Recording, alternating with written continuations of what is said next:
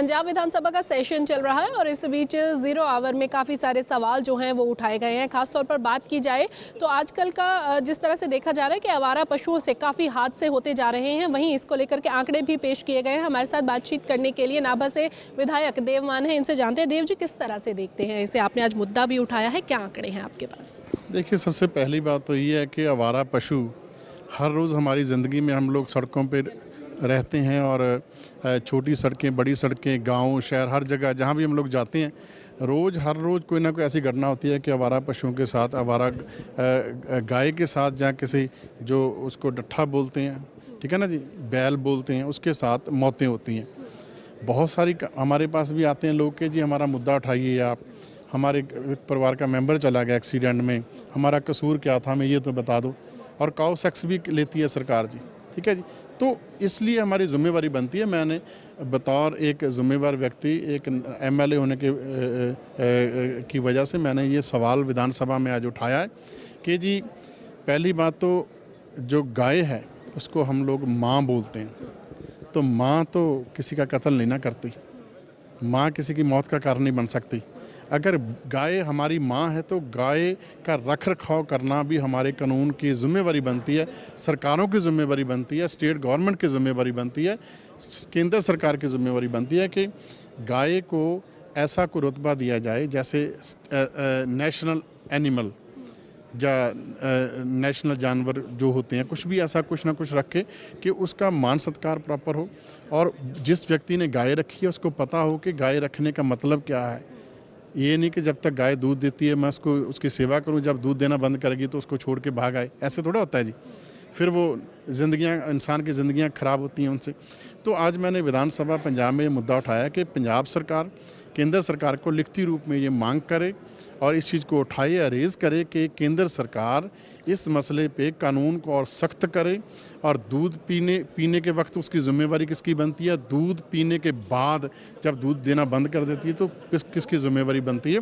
उस चीज़ के लिए कानून अकाउंटेबिलिटी प्रॉपर तय की जाए और अगर जो लोग इसकी रख इस कानून की रक्षा नहीं करेंगे उनके ऊपर सख्त से सख्त कार्रवाई हो बिल्कुल देव जी पर इसे किस तरह से सुनिश्चित किया जा सके? क्योंकि देखा जाता है बहुत सारे लोग हैं जिन्होंने घरों में गाय रखी हुई है। बहुत सारे ऐसे लोग हैं जो उनको दिन में छोड़ देते हैं शाम को दूध दोने के वक्त उनको लेकर के आते हैं।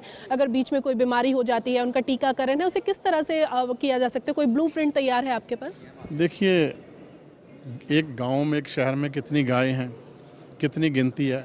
जब कौन सी दूध गाय दे रही है और वो किसके नाम पे है तो उसका रिकॉर्ड तो मेंटेन किया जा सकता है ना जी। ठीक है ना? एक एक चीज़ का रिकॉर्ड मेंटेन हो सकता है जी। ठीक है ना? गौशाला में भी तो रिकॉर्ड मेंटेन होता है, हमारे पास कितनी गायें हैं। ठीक है ना? हर गौशाला के पास होता है जी कि कितनी गऊ रख गौ गऊ की हम लोग रख रखाव कर रहे हैं। तो ये बिल्कुल मेंटेन हो सकता है, इसको कर सकते हैं। जब सरकार टैक्स ले रही है तो सरकार की जिम्मेवारी भी बनती है कि आम लोगों का इसका, आम लोगों को इसका नुकसान क्यों हो। ठीक है ना? तो इसकी बिल्कुल अकाउंटेबिलिटी सरकार की भी बनती है। हम सबकी बनती है कि आप मुझे नाभा के विधानसभा लोगों ने मुझे चुन के यहाँ पे विधायक भेजा तो ये नाभा विधानसभा के लोगों की मांग नहीं है।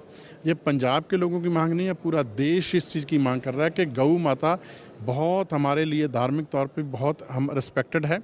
हम सत्कार करते हैं, लेकिन गऊ माता की रिस्पेक्ट जो है, वो बरकरार रहनी चाहिए और गौ माता किसी का कत्ल ना हो उससे किससे टकरा के किसी की मौत ना हो तो गौ माता की रख रखाव गौ माता की रिस्पेक्ट बरकरार रहे और उसकी रख रखाव का प्रॉपर जिम्मेवारी तय की जाए। और जो लोग इसमें कानूनी तौर पे इसको नहीं इम्प्लीमेंट करते इसको नहीं लागू करते उनके ऊपर सख्त सख्त कार्रवाई हो। क्या इसके लिए आप जो है दबाव डालेंगे? क्योंकि आपके जो साथ के नेता हैं ज़ाहिर तौर पर वो सभी इससे परेशान हैं तो वो भी आपके साथ होंगे। तो क्या पंजाब सरकार की तरफ़ से आप भी दबाव डालेंगे मुख्यमंत्री पर कि वो एक लेटर जो है वो सेंटर को लिखे इसके तरफ़ से एक मुख्यमंत्री साहब को एक लेटर लिखूँगा। और देश के माननीय प्रधानमंत्री नरेंद्र मोदी जी को भी मैं एक लेटर लिखूँगा कि, सर, ज़रूर इस पे प्रधानमंत्री जी ज़रूर विचार करें और इसको बहुत गंभीरता से लें। और पूरा देश मेरी इस बात से सहमत होगा जी। मुझे इस चीज़ का यकीन है, क्योंकि जब हम लोग सड़क पे जा रहे होते हैं किसी की एक्सीडेंट से मौत हुई देख करके हमारे दिमाग में साइकोलॉजिकली एक जो तस्वीर बनती है कि जहन में जो सपने आते हैं कि कहीं मेरे साथ ऐसा ना हो जाए, ठीक है ना? तो वो बड़ा अजीब सा माहौल बन जाता है। तो उससे कहीं ना कहीं मुक्ति डालने के लिए, उससे मुक्त करने के लिए कानून सख्त से सख्त बना, बनाया जाए और देश में ये जो आवारा पशुओं से मौतें हो रही हैं और जो मौतें होती हैं, उनका तो कोई कसूर है नहीं जी। ठीक है जी कसूर किसका जिसने गाय छोड़ दी है या जिसने बैल छोड़ दिया। तो इस जो ये काम करते हैं उनके ऊपर भी नज़र रखी जाए और उनको भी कहीं ना कहीं कानून में लिया जाए। आखिरी सवाल आपसे लूँगी। आज ज़ीरो आवर में एक और सवाल उठा है रवायती खेती का पोस्ट की खेती का। आप किस कितना इतफाक़ रखते हैं उससे? देखिए पुराने बुज़ुर्ग जब हमारे थे आज भी मेरे फादर साहब नब्बे साल के आसपास हो चुके हैं। हॉस्पिटल में बहुत कम गए हैं तंदुरुस्त हैं दवाइयाँ कम खाती हैं बुखार बहुत कम होता है। तो कहीं पुराने ज़माने में दवाइयाँ नकली नहीं होती थी, फ़सलें असली होती थी। ये भी एक फ़सल ही है, पोस्ट की फ़सल, ये भी फ़सल ही है। बहुत सारी दवाइयों में पड़ती है जी, मेडिसन जो आती है ना उसमें, ऑफिशियली तौर पे आप देखें, वो उसमें पड़ती है ठीक है ना? बहुत सारे देशों में इंपोर्ट होती है, बहुत सारी स्टेटों में लीगली है।